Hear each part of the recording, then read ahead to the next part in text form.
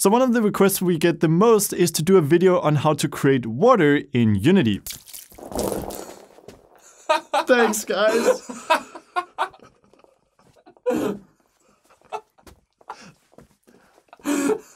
And as with many things in game development, there are about a billion different ways to create water, from realistic water with refraction to a more cartoony look. Of course, all these techniques are great if you've been working with Unity for a long time and want to pour, pun intended, a lot of effort into making the perfect water for your game. However, I think most of us probably just want to get some darn water working. So in this video, we'll have a look at how to create a water shader in what I think is the simplest possible way. This should also help act as a solid base if you want to look into expanding the effect with stuff like reflections, refraction, sine-based waves, or normal maps. But before we get into it, this video is sponsored by Hostinger. If you've ever thought about creating a website or hosting your game on a server, I really recommend you check out their different web hosting services. They are extremely fast, very affordable, easy to get started with, and provide a lot of value in their different solutions. And their website builder will make everything a lot easier for you. Trust me, building a website from scratch can be something else.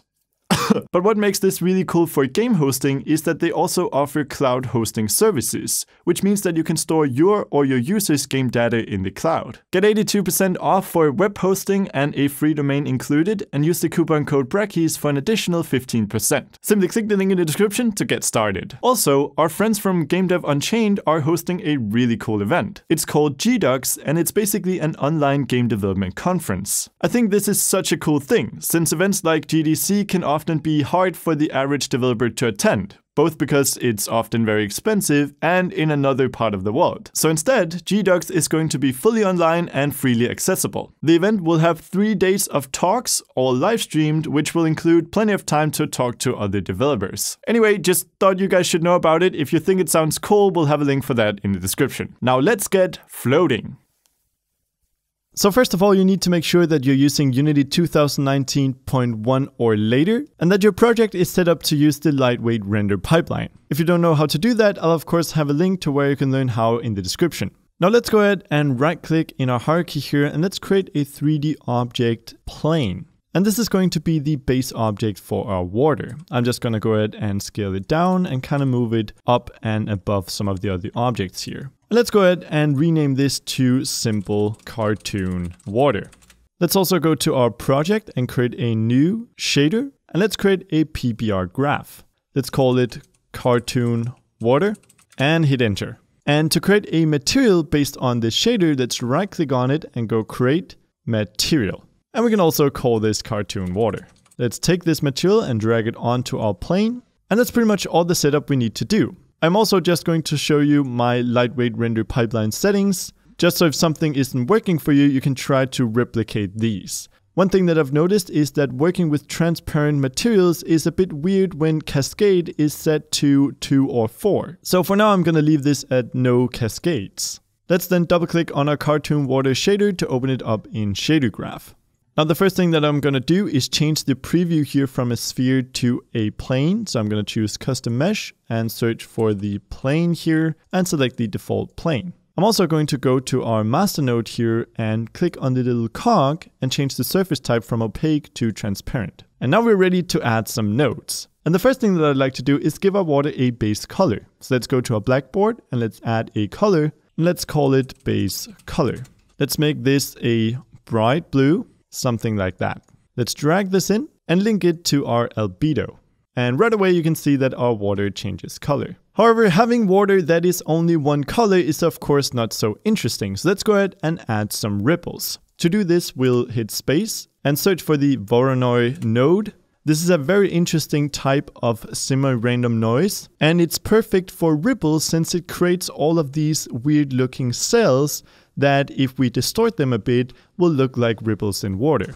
In fact, let's try and do that now. So if we adjust the angle offset here over time, we can get a really interesting effect. To do that, let's create a time node. Let's hook this up to a multiply node in order to be able to control the speed of these ripples. So let's go ahead and actually create a vector one for this. And let's call it ripple speed.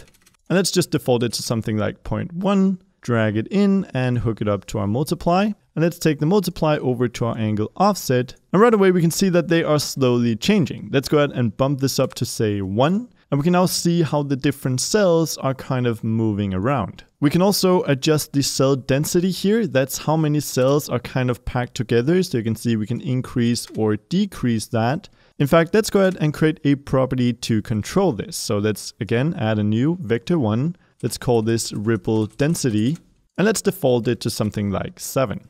Let's drag that in, hook it up to our cell density and clean up our graph a bit here.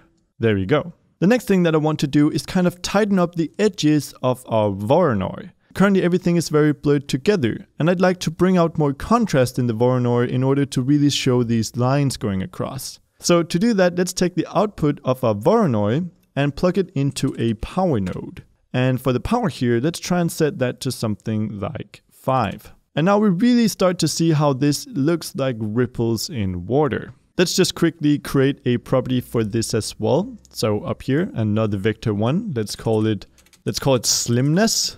And we can just default it to 5. Let's make some space here, drag in that ripple slimness and hook it up. And I think at this point we're ready to start mixing together our ripples with our base color. However, in order to do that, we probably want to give our ripples some color other than just a solid white. So let's again go up here, let's create a color property, and let's call it ripple color. For this one, I'm going to choose as the mode HDR, just in order to allow us to control the intensity of our ripples. Let's set the color to a bit brighter of a blue, and let's also give it an intensity of say 1. We can then take the ripple color and multiply it into the output of our power node. So let's go multiply and multiply that with our ripple color. And we can really quickly start to see how that looks pretty cool. And let's then add that on top of our base color. So let's take the output of our base color into an add node and let's have the ripples go on top. And there we go. You can kind of see how we've created this cool looking ripples in the water. And if we simply go from the output of our add node into the albedo, we can see what that looks like when overlaid onto a plane. And that is really the base of our water effect. Let's also decrease our alpha to something like 0.8 just to make the water a tiny bit see-through. And with that, let's try saving this asset and going into Unity and voila, we actually have some fairly decent looking cartoonish water and everything is done with just these few notes. You can of course select the material and try and play around with the base color as well as the ripple color in order to get a nice blend between the two, but I actually think that the default settings here are already looking quite fine. However, one thing that I think is a bit boring is the way that the Voronoi is currently moving. It does seem like the water is flowing, but it does so very uniformly. Let's go ahead and add another layer of distortion to this using a radial shear. So if we go into our cartoon water here, you can see that our Voronoi node has a UV input. And this means that we can go ahead and create another node here called the radial shear. This is going to go ahead and kind of distort our Voronoi by rotating it around a center point. Now I'm just going to set the strength of this to something like 1 by 1, but you can see how really quickly that makes the effect much more interesting to look at. And if we save that and go straight into Unity, I think that already looks much, much cooler. You can definitely play around with adding multiple layers of noise like this to make your water stand out. So our water is looking pretty cool now, however, the plane is still completely flat. And as you know, water kind of moves around a bit. So let's try and add vertex displacement to make this effect more interesting. To do that, let's open up Shader Graph again. And on top of everything we have going on here, let's try and create a gradient noise. Let's go ahead and set the scale of this to something like 5. You can of course create a property for that if you want. And as you can see right now, this noise is completely static. So let's have it move over time. We can do that really easily with a tiling and offset node. So let's hook that up to the UV of our gradient.